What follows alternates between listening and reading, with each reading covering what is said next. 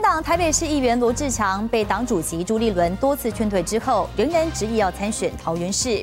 好，今天清晨他在脸书发出了四大声明，并且开记者会宣布，就算最后没有被党中央提名，他也要做台教者来辅选。在桃园这一局，他不会退让。我想要来参与国民党桃园市长。提名机制态度坚决，就是要选桃园台北市议员罗志强。看来没被朱主席的电话逼退。清明年假结束第一天宣布参选，连书发四点声明，辞去党副秘书长一职，正面喊话朱主席不必帮他找其他战场。罗志强会自己找自己的战场跟去处，不是罗志强，我也。全力的支持。桃园这一局，朱罗火车对撞，朱立伦一通电话说宁愿鱼死网破，也不要罗志强。被党中央挡了两次，这一回罗志强自己做主，吴玉警突袭党中央，表达参选决心。事实上，我所有参选的决定已经告知了两次，昨天已经到午夜了，我想也不方便再去打扰。四月一号晚上。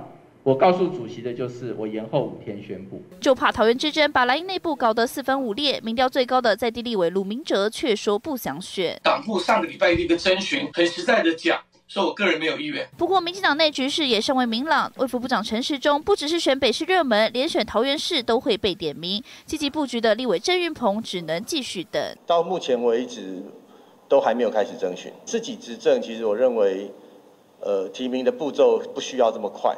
桃园不需要早于其他的县市。至于民众党党籍立委赖香林、党秘书长谢立功，请跑桃园基层，但胜负一样难料。初选的机制是公平的，那我跟谢秘书长也是一步一脚印。年底选战逐渐加温，桃园市长这局好戏何时开锣？记者李李和荣特别报道。